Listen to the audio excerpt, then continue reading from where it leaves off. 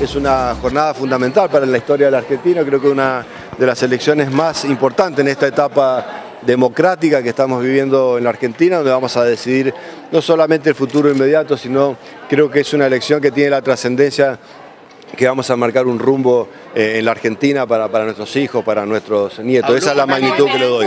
es una hipótesis que no quisiera hablar hoy día porque casualmente tenemos que esperar, faltan horas para saber quién va a ser el, futuro presidente de los argentinos o si va a haber balotaje, así que yo esperaría para dar esa respuesta cuál va a ser el escenario. ¿Habló usted con alguien de la Nación estas últimas 24 horas referido a esta jornada? No, no, no he hablado con nadie de la Nación, sí hemos estado en forma permanente con el gobernador Alfredo Cornejo, de, eso, de hecho esta mañana desayunamos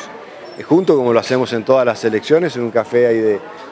de, Godicruz muy tradicional. Eh, y bueno, nosotros, eh, repito y digo, esta elección es trascendental, creo que ha habido una reflexión en el pueblo argentino y que hoy puede, podemos revertir esas elecciones de las PASO. Bueno, hoy es, es, algo lo que está ocurriendo no solamente en Chile, que ha pasado también en la Argentina con las movilizaciones, que ha pasado en Ecuador, que ha pasado en Nuevo Bolivia, tiene que ver con, con la democracia que viene. Hoy las redes sociales a los políticos nos exigen mucho más porque estamos permanentemente sometidos a esa audiencia que se moviliza muy rápido. A mí me, parece bien ese tipo de movilizaciones en la medida que sean pacíficas, que sean constructivas, que, no haya daños a los bienes públicos y mucho menos daños a, las personas. Obviamente repudiamos lo que ha pasado en Chile en cuanto a las pérdidas de, vida, pero bueno, esa es la democracia que viene a futuro. Con respecto al análisis fundamental que hago, creo que hubo un gran error del presidente de decretar el, toque de queda,